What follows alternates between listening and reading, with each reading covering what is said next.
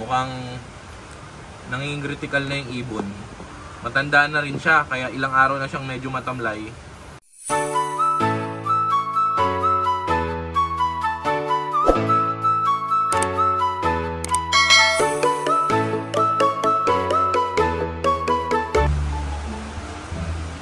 Maulang hapon mga kalapatids. Binagyo nga tayo dito sa loop natin, dito sa bago nating loop. Di handa ang loop natin sa ulan. Oh temporary no! takip muna yung nilagay natin. Okay. Update ko lang kayo sa kondisyon ng ating mga panlaban. Kanina nga, kinancel muna yung first training sa MMFC. Kaya, ano, siguro kasi masama ang panahon. Sobrang sama mga kapatids. Ilang linggo nang umuulan. Tuloy-tuloy yung ulan mga kalapatids dito sa amin sa Santa Maria, Bulacan. Simulan natin dito mga kalapatids. Meron nga ako ditong ibon. Galing kay Master Iking de la Cruz. Ayan mga kalapatids. Acquire natin kay Master Iking de la Cruz. Saka na natin i-feature yan sa ibang vlog mga kalapatids. Saka ko sa inyo ex- explain ko anong linyada niyan. Meron din ako dito mga kalapatids. Mukhang nanging critical na yung ibon. Oh Matanda na rin no! siya, kaya ilang araw na siyang medyo matamlay. Okay naman siya, wala naman siyang kung anong sakit. Kaso talagang siguro sa katandaan na. Nasa 14 years old na siya mga kalapatids. Ang breeder namin. Mga kalapatids. Nakaiwalay siya dito kasi binubugbog siya nung mga breeder sa loob. Ito mga kalapatids dito sa section na yan, dito yung mga flyer natin, pang north at pang south. Yan, dyan sa may trap door na yan. Yung mga kapatids, maliit lang yung pinagawa nating look para magkasya lang dito sa space sa roof deck. dito naman mga kalapatid sa may lola na to. Dito nga yung mga breeder natin, yung hen saka cock. Tara mga kalapatids, sama ko kayo sa loob. Tingnan natin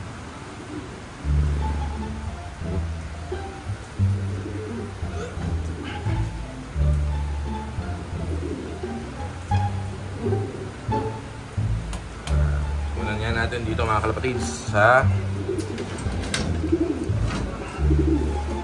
sa mga hen. Hen section mga kalapatids.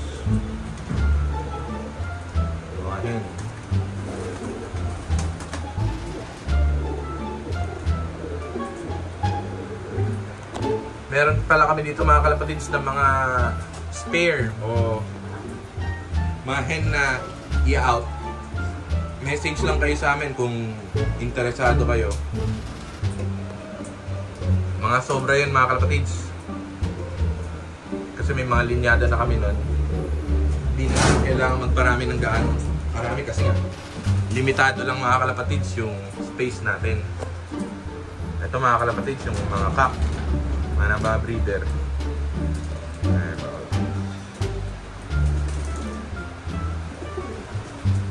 Ayan nga mga kalapatid, si Pots. Ayan. Double tap loban natin. Yung lugo na lugo na yan. Tinry nga natin sila mga kalapatid na i-breed. Kuha na ng ano, pero ganun pa. And failure. Hindi pa rin tayo nakakuha ng anak ni Pots.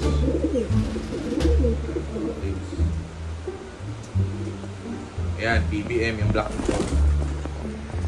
Mga lumang PBM na Gwen.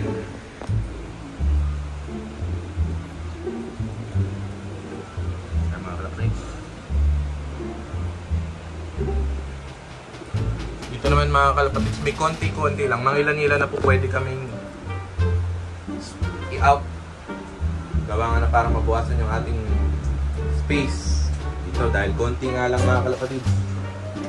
Ating maliit lang yung loop natin. Dito tayo mga kalapatids sa flyers natin.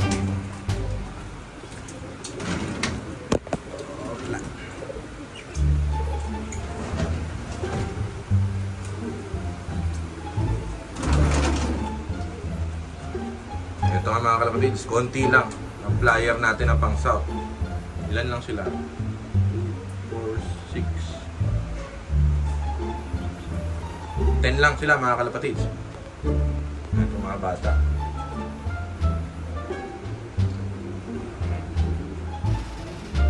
Sila mga kalapatids. Lalaro natin mga kalapatids yung south sa UBFRC. Combine ng BFRC. Okay, press. Ramrel de la Rosa. South sa BFRC tayo. Sa north naman mga kalapatids, sa MMFC tayo kasi hindi kami nagsasabay ng club kasi napakahirap pagka dalawa pa yung loadingan na pinupuntahan kasi kaya isa-isa na lang ginawa namin. Ito mga kalapatids.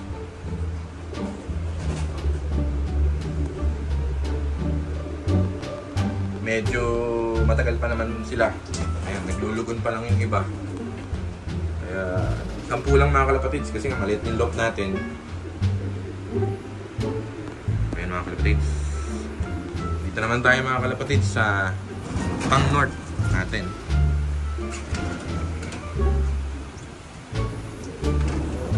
Opla.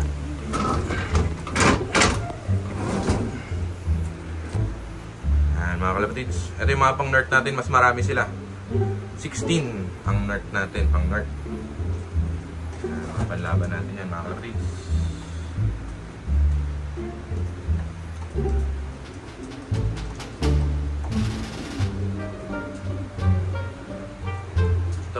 Natin mga kalapatids.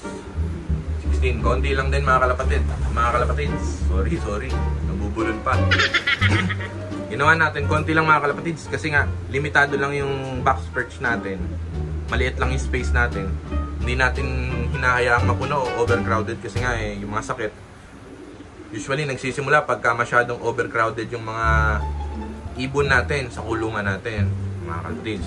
Usually kami, halim, meron kami tinitira usually nasa 20% na walang nakadapo, walang naka sobra kami ng 20% kumbaga sa boxes sa kalapati namin panlaban. Kung halimbawa, meron kaming 10 box perch, walo doon yung mga kalapati namin, walo lang para may space.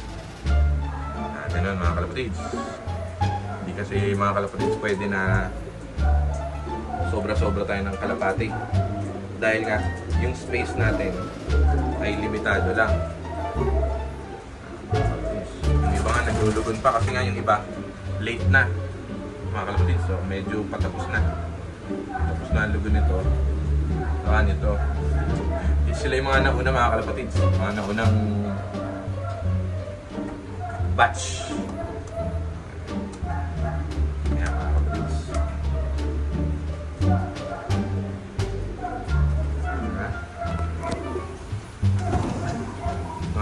Kalapatids eh, maulan. Maulan nga dito sa amin sa Santa Maria, Bulacan ngayon. Sana nga tumigil na mga kalapatids yung ulan para makapagbalik na tayo sa training, sa ating pagtitrain ng mga kalapati. Sa mga kalapatids, ito yung view dito sa loft. Subdivision. Kaya mga kalapatids, maliit lang din yung loft natin na pinagawa. Kasi nga subdivision, para hindi naman tayo nakakabala.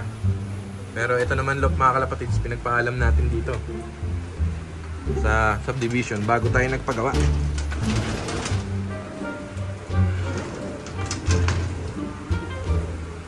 Kalapatids, labas muna tayo.